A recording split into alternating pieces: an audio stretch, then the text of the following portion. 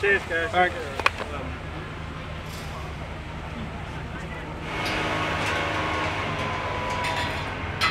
We are very happy to, to be here.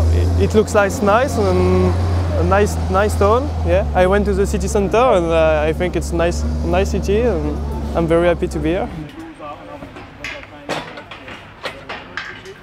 Well, I'm Pat Kilburn, Head of Parks and Environmental Services, and we're on the Stray at the moment. And um, what you can't probably see, you can see behind me, is lots of activity. And obviously, we're getting ready for the Tour de France. And it's an absolute delight to um, welcome the French and all the teams and everybody else to, to Harrogate.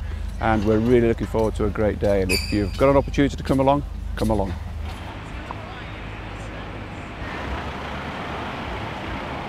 We set up the finish line, all, all the all the finish on on each steps, and uh, we woke up at uh, seven o'clock, and we we set up the, the advertising barriers, and uh, we finish uh, on average at midday.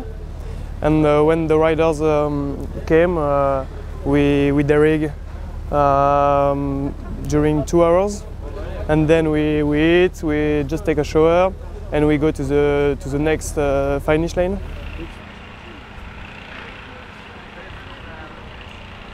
Sheffield and then to London, and uh, we'll go back to France uh, after.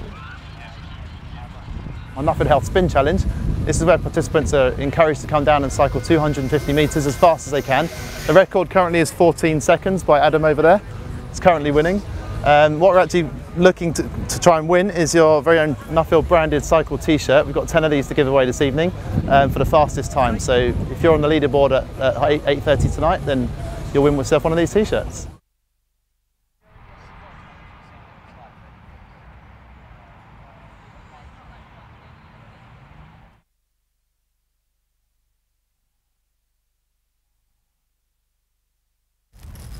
My name's Rob and I'm here in the fun park of uh, Le Grand Départ in Harrogate and uh, I'm selling uh, traditional English confectionery handmade in Yorkshire. Come on down and taste some, yahoo!